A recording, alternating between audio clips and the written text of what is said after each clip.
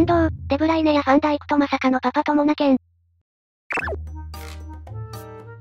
やばすぎる。すげえ学校だな。どんだけ豪華な学校だよ。ただのプレミアベストイレブンで草。大工とデブの子供が同じ学校通ってて家族ぐるみで仲いいのは知ってたけどサラーもだったんや。サラーファンダイクデブライネ遠藤が授業参観に来る小学校おもろすぎて無理。普通にパパ友としてデブライネと仲良くなってるの想像したら笑けてきた。日本でいう慶応幼稚者みたいなもんかな。今社会人だけどこの学校に入りたい。